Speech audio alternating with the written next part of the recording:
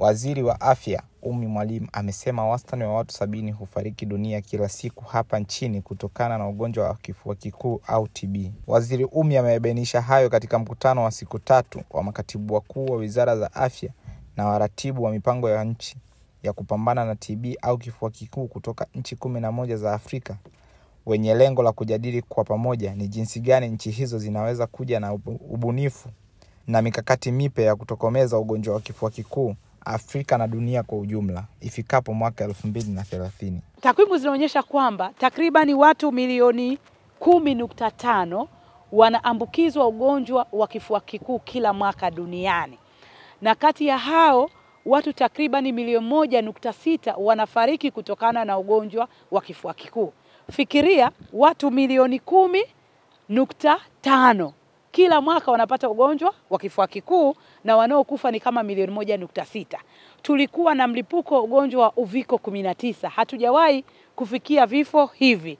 Lakini TB ni kama ugonjwa wa maskini, kwa kidogo haujapata sauti au mwitikio mkubwa kutoka kwa viongozi, jamii na wataalam katika kutokomeza.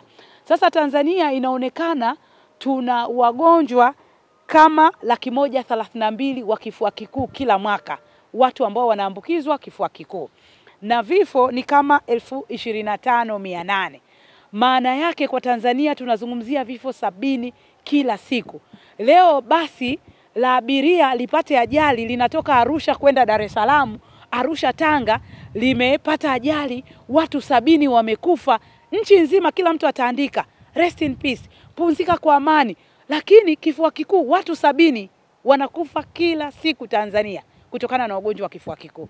Dr. Eliud Wandwalo ni mkuu wa mambo ya kifua kikuu kwenye mpango wa dunia wa kupambana na HIV, TB na malaria. Anaeleza ni kwa namna gani mfuko huo unafanya kazi. Mimi naitwa Dr. Eliud Wandwalo. Mimi ni mkuu wa mambo ya kifua kikuu kwenye mpango wa dunia wa kupambana na HIV, TB na malaria.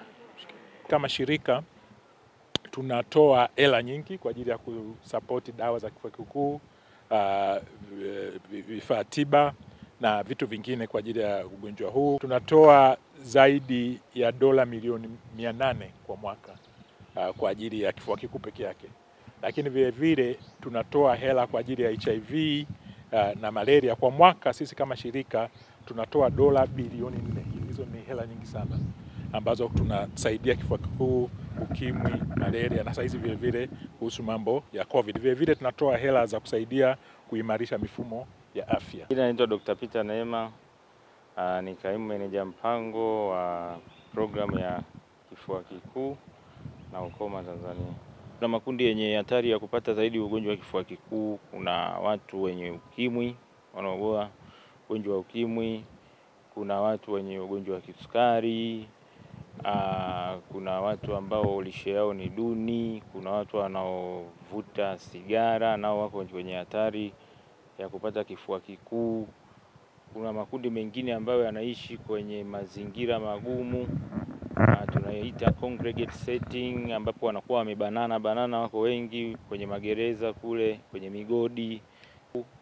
Kuna watoto chini ya miaka mitano, na ndio maana waga tunawapaga tiba kinga dhidi ya kifua kikuu pamoja na kundi la waviu nao waga tunawapaga hizo dawa ili kuwakinga, na haya makundi mengine nchi inaangalia uwezekano nao wa kuanza kuyapatia dawa hizo. Kuna mkoa unaongoza waga wagonjwa wengi, kuna Dar es Salaam, kuna mkoa wa Dodoma, kuna mkoa wa Pwani, kuna mkoa wa Tanga, kuna mkoa wa Ruvuma, lakini ile ambayo ina wagonjwa wachache sana wanaibuliwa ni mikoa ya huku Zanzibar, Unguja, Pemba, mikoa ya magharibi mwa Tanzania, kuna Kigoma, Rukwa.